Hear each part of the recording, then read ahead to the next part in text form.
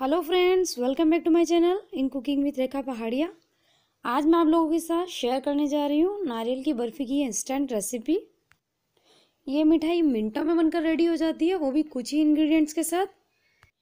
तो इस दिवाली आप मेरी इस रेसिपी को ज़रूर से ट्राई कीजिएगा। सबसे पहले अगर आप मेरे चैनल पर फ़र्स्ट टाइम आए हैं तो please subscribe my channel and press the bell icon ताकि अगली वीडियो की नोटिफिकेशन आप तक पहुँच सके। तो आइए रेसिपी स्टार्ट करते हैं। नारियल की बर्फ़ी बनाने के लिए मैंने यहाँ पर चार नारियल लिए हैं।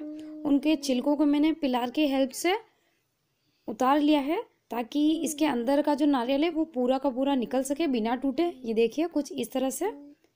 छिलके उतार लेने से हमारे नारियल जो है पूरे निकल जाते हैं, बिना टूटे। एक टूट गया है गलती से।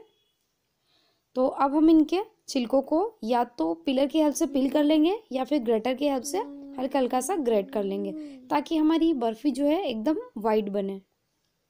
ये देखिए, मैंने ग्रेटर की हेल्प से इसे ग्रेट कर लिया है और इन्हें छोटे छोटे पीसेस में कट भी कर लिया है, ताकि इसको पीसने में आसानी रहे। बहुत ही इजीली ये पीस जाएँगे। छोटे छोटे से टुकड़े करने से हम एक साथ इसे नहीं पीसेंगे, हम दो से तीन टर्न में इसे पीसेंगे। देखिए कुछ इस तरह से हमें पीसना है इसे, बिल्कुल बारीक। अगर आपको ज़रूरत पड़े तो आप इसके अंदर थोड़ा सा दूध या फिर नारियल का ही पानी इसमें डाल सकते हैं पीसने के लिए, लेकिन मैंने इसमें कुछ भी नहीं डाला है। इसी तरह से हम सारे नारियल को पीस लेंगे। ये देखिए, मेरे सारे नारियल को पीस लिया है। और थोड़ा सा नारियल, एक से दो चम्मच मैंने एक अलग कटोरी में निकाला है। यहाँ पर मैंने एक पिंच येलो फ़ूड कलर लिया है और इसे पानी में घोल लिया है। अब मैंने यहाँ पर एक पैन गर्म होने के लिए रख दिया है। उसके अंदर सबसे पहले हम डालेंगे एक चम्मच देसी घी। जी हाँ सिर्फ़ एक चम्मच ही घी लगेगा इसमें।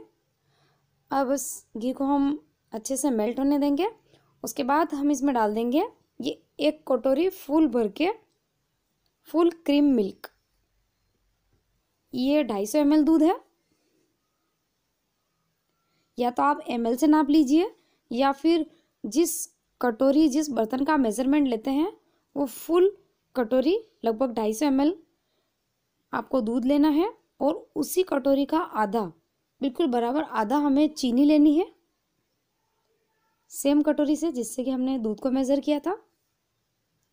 अब यहाँ पर मैंने लिया है दो इलायची का पाउडर अब हम इन सबको अच्छे से मिक्स करेंगे और इसमें लगभग एक से दो उबाल आने देंगे। हमें इसे बहुत ज़्यादा भी नहीं उबालना है। सिर्फ़ एक से दो उबाली काफ़ी है। देखिए, इसमें अच्छे से बॉईल आ चुका है। अब हम इसके अंदर डाल देंगे ये कोकोनट पाउडर गैस का फ्लेम मैंने लो कर दिया है।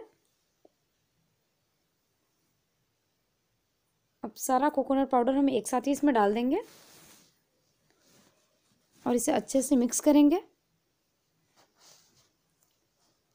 हमें गैस का फ्लेम लो टू मीडियम ही रखना है।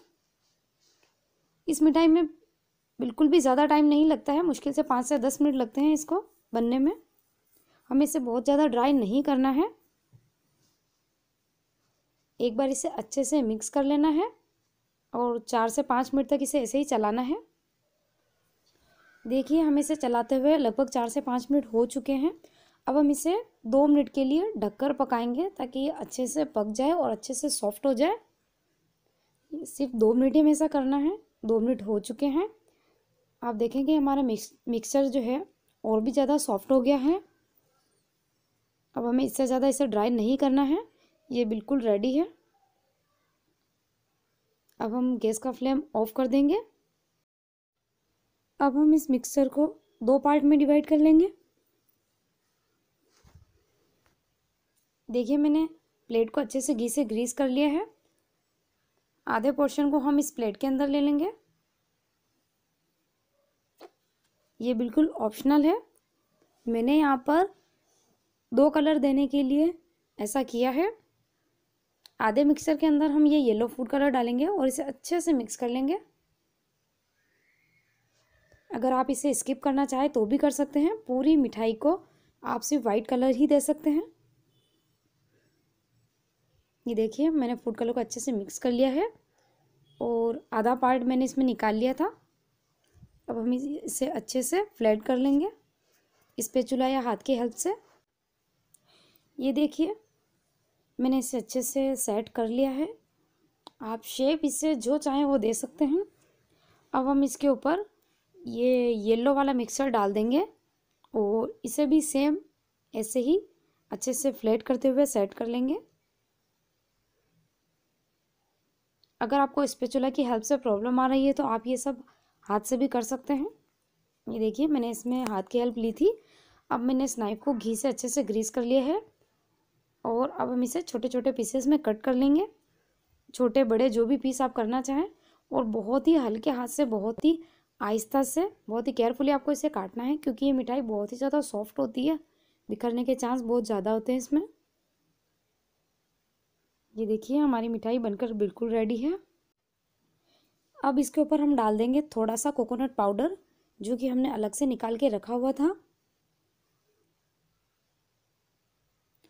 अब हम इस कोकोनट पाउडर को भी अच्छे से स्पेचुला की हेल्प से दबा देंगे, थोड़ा प्रेस कर देंगे, ताकि ये अच्छे से इसके ऊपर चिपक जाए सेट हो जाए। वाओ ये देखिए, हमारी डिलीशियस इंस्टेंट बर्फ़ी बनकर बिल्कुल रेडी है। तो इस दिवाली आप मेरे इस रेसिपी को ज़रूर से ट्राई कीजिएगा। ये मिनटों में बनकर रेडी हो जाती है और खाने में बहुत ही ज़्यादा टेस्टी लगती है। आप देखिए इसका टेक्सचर ये बहुत ही ज़्यादा सॉफ्ट है। आप इस दिवाली मेरे इस खोपरा पाक या ताज़ा नारियल की मिठाई या नारियल की बर्फ़ी की रेसिपी को ज़रूर से ट्राई कीजिएगा।